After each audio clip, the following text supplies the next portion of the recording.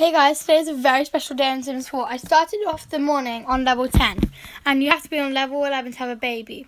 This was me before I had a baby in my regular house. And here's my house again. It was quite small, but we decided to add an extension as we reached level 11 to try for a baby. We started from this room to a completely different room. Here I reached level 11, Family Matters, so that I can have a baby, but you have to complete lots of quests first. Now I finally decided it was time to get pregnant. So we were having a conversation, we were completing all the quests, and we decided we were going to get pregnant. My belly started off quite small, as you can see in this picture, but it gradually grew. This one's a little bit bigger, well, very big in total. We now have about 30 minutes until she gives birth. This is the baby's room. I still need to put the cot in it, but after that it should be done. We don't know if it's a boy or a girl yet. Let's see what happens. Oh, and this is the parents' room. Doing a baby. I've been waiting 24 hours. So to wait ages. So, today's so exciting. I started off the morning by, you know, just constantly trying to work the Sims. Even, even when I was doing my schoolwork, I was like, sure Tunnel Sims there's, so much to do. It's been over 24 hours, and finally, at 20 to 4,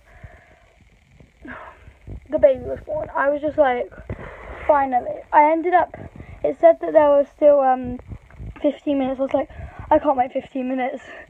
So I used some cash and skipped it a little bit, just 15 minutes. And baby Chad was born. Um, he's called Chad Delilah. Delilah is their last name because it was River's last name. And when they got married, obviously they kept River's last name, and then and then baby obviously it's going to be Delilah's. Got has to just be the last name. So my plans are now. As soon as he turns into a toddler, I want to have another baby. Um, I might do the thing where you can um, adopt a girl it will still be you. It will still be. It will still look like you. It will just be a girl, so you can kind of like choose. I think I might adopt a girl, or I might just get pregnant again. Because you guys saw how big my stomach was in that. Oh, it was huge. Um, but and if we have another, if we have a girl, I want to name her Anavea. Um, or I might just name her Serenity because if we only end up having two girls in all, I want to name them Serenity and Cece if um, we have three girls and a best friend, and Cece. I feel like Cece is like a name for like a child who's like, like, not little, but like younger, like the youngest of like certain amount of siblings. Serenity's, she could be older. She's not like the youngest, but she's one of the youngest. And then like Annavea's like, oh, I'm one of the oldest. And Nevaeh is like, I'm the oldest. So I want Annavea, Serenity, and Cece. I really like those names. And then if we have another boy, I'm going to name him Harry. Um, trying to think of other names. I can't really think of any other names for boys. Just Harry, which I had in my mind anyways. Um, I'm super, super, super happy with our choice. I'm very, very happy that we had a boy because I guessed boy, and I kind of deep down in me I was like, I want a boy. So I'm so glad that we had a boy. I'm so glad that I guessed it right. I was actually on FaceTime with my friend. Elwood was doing a stopwatch to see how long the labour took. Um, it took five minutes with me using the skip. And my friend was like, you know, like we were on call.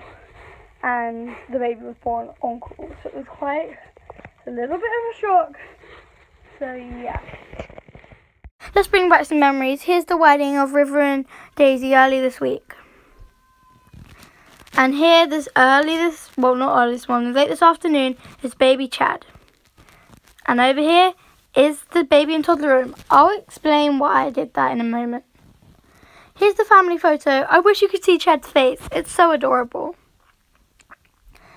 Here, I think this is a picture of the high chair. I don't really know, but yeah. Okay guys, time for, time for some explaining. So, if as you see in these two rooms, the smaller one is the baby room. Now, that's obviously a baby room, but since I want to have a child after another, so I have a child, then as soon as it's toddler, have another one, what I did was I made a baby in a toddler room so I could keep the baby room how it was. So I gave I gave birth to the baby. As soon as it becomes a toddler, move it into the toddler room, keep the baby room so I can have the next baby in there. So I wouldn't have to keep changing out the furniture. That would take a while. So this is what I did.